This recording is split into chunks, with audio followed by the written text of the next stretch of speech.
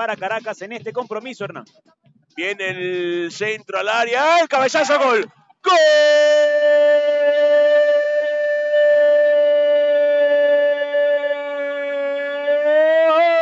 Bien, Neider Tamayo. Marca el primero.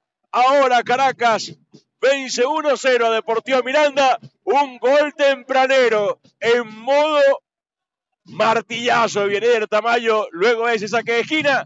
Caracas gana 1-0 frente a Deportivo Miranda. Bien apareció dentro del área el jovencito Vianeider Tamayo para vencer sin problemas a la saga central de Miranda y de cabeza colocar el 1 por 0.